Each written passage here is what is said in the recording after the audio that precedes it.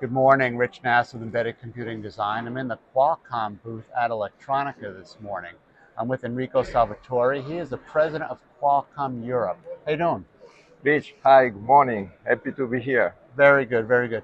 So you guys just made a very exciting announcement, the uh, IQ uh, IQ series. Would would you tell me a little about it and why is it appropriate for these applications that we're talking about here at the show?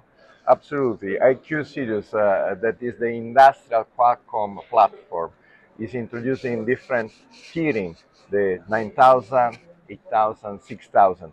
Uh, is uh, first of all introducing AI mm-hmm. for the edge device in IoT. So we are uh, contributing more and more to see intelligence coming into the device in addition to the connectivity but making the device more intelligent in terms of processing, in terms of AI.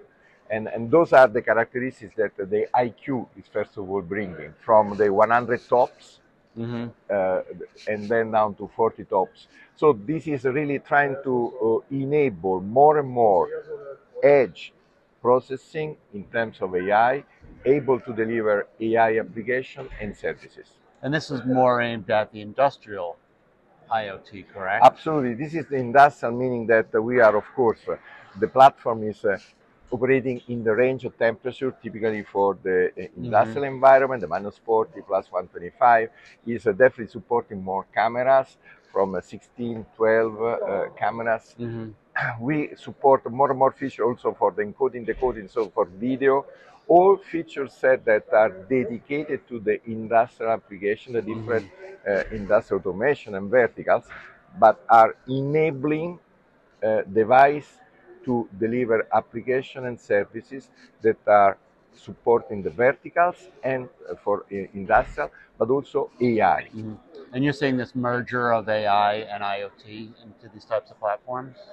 Well, uh, uh, absolutely, we see more and more the trend uh, because, first of all, we have the vision of the AI uh, happening in a hybrid uh, mm-hmm. Uh, architecture with the AI stay on the cloud, on mm-hmm. the big servers, but more and more complemented by AI in the edge, in the device, in the IoT. So with because low latency, because of the local presence of data, mm-hmm. because of local presence data is also impacting cybersecurity. So you have the data locally.